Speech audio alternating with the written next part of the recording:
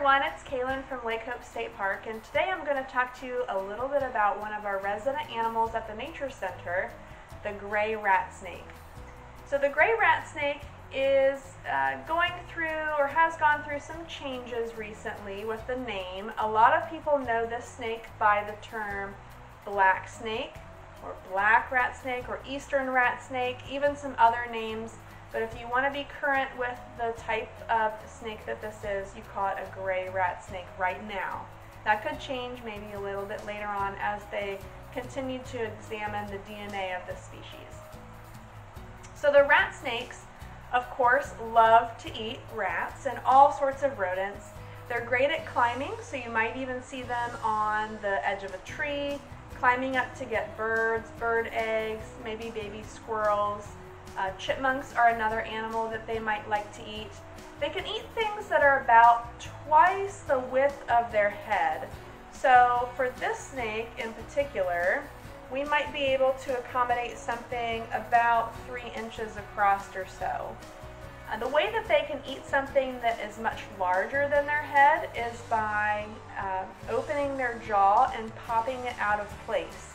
So if you place your fingers right here in front of your your ear, you're going to be able to feel your own jaw moving around. They'll pop that out of place. And then, of course, they also, in their chin, don't have a bone that goes straight across, and that can accommodate by stretching out a little bit more too. So generally, it's kind of like us eating a basketball or a watermelon full size all in one bite, a really big bite. And of course, they don't pick apart their food. They do eat it all in one go. So if you look really closely at the snake, you can see its tongue is constantly sticking out. That means that it's smelling its environment. When the snake sticks its tongue out and wiggles it around, it's picking up little particles in the air that are telling it what's nearby.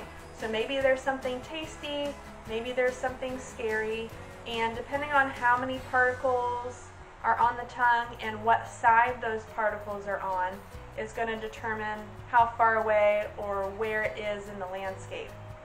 Do you think snakes tie themselves in knots? This one is looks like it's trying, right? But actually, even though it looks like it's in a knot, they're always able to sort of unravel themselves. They have lots and lots of muscles, lots and lots of vertebrae, that help them to climb up into rafters, to get into ceilings, and get to forage for food, those rodents that hide in those little nooks and crannies of barns and shelter houses and places where other animals like cats can't get to them.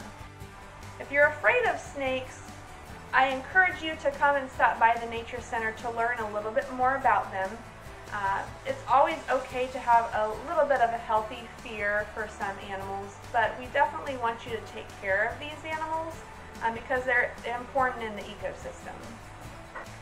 So if you want to learn more about the rat snakes or any other snakes and reptiles and amphibians that we have here at Lake Hope, be sure to check out one of our cold blood programs this summer or throughout the rest of the year. Until next time, everybody stay happy and healthy.